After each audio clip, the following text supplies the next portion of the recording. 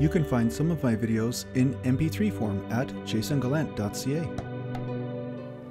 Every day on social media, you will see someone who is externally focused and they're crying or they're depressed about the fact that somebody in their life doesn't love them or no one loves them. And the cycle continues. It, it never seems to stop because they have come up with ideas about how this love should happen.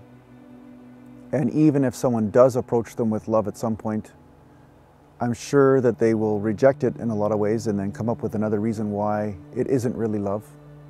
But what I'm talking about is a pattern of externally looking for love. You know, like the Garth Brooks song, looking for love in all the wrong places, right?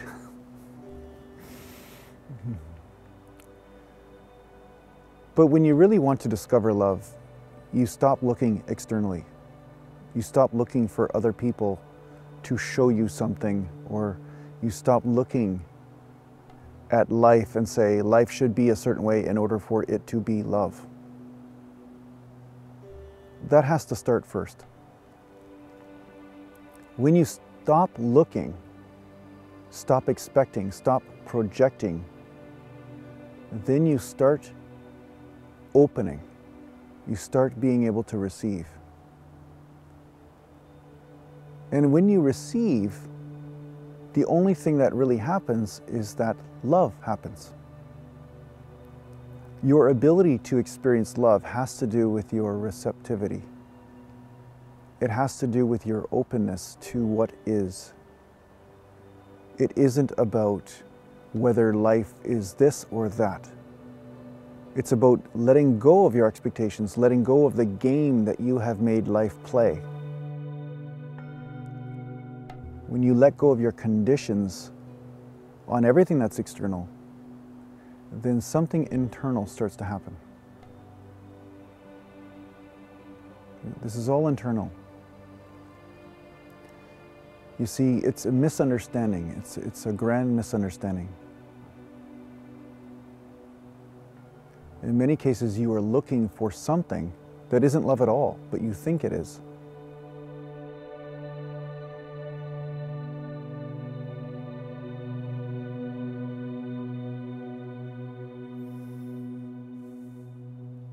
Everyone knows that love is experienced in the heart. But what does that mean? What does that mean when you experience something in the heart? How does one experience something in the heart?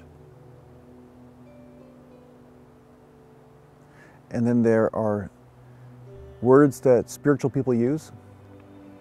They say, open the heart, receive. But how does this happen? What are the mechanics around this?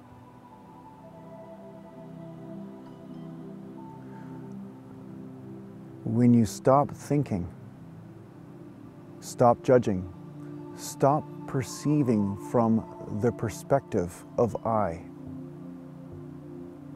You stop being so sure of your point of view.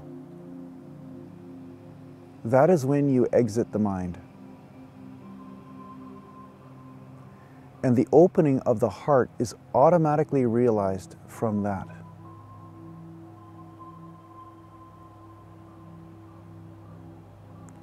The point of view is what causes the pain. It's you clinging to the point of view.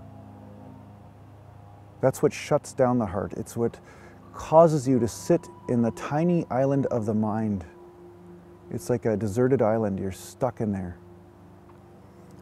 But you see, the heart was open all along, but you are not free to experience the heart because you have forced yourself into the tiny prison of the mind. So if you wish to exit that prison, you take breaks from thinking, take breaks from holding on to point of view, take breaks from being right about everything in your life, including yourself. And this happens in meditation or when you're sitting in quiet contemplation in the woods, listening to the airplanes go by.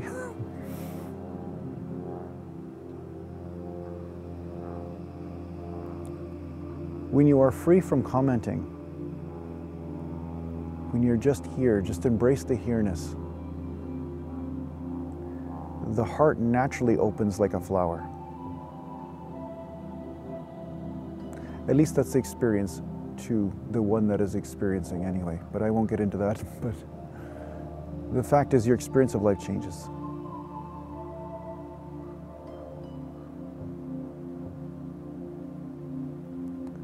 At some point, love is realized within. And then you're free from this game of looking externally to find it. Love is an experience, so become a master of your own experience.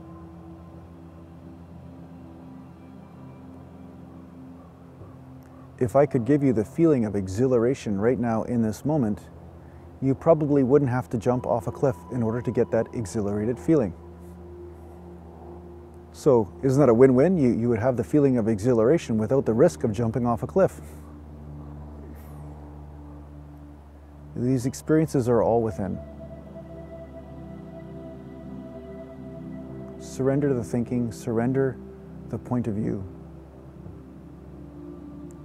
Surrender the limited understanding of yourself.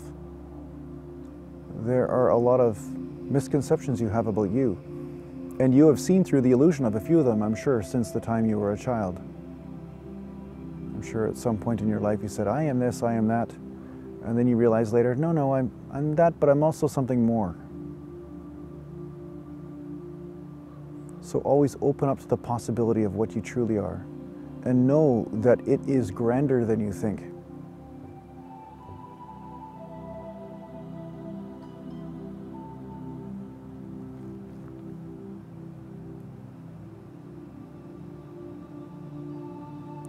So I hope this helps.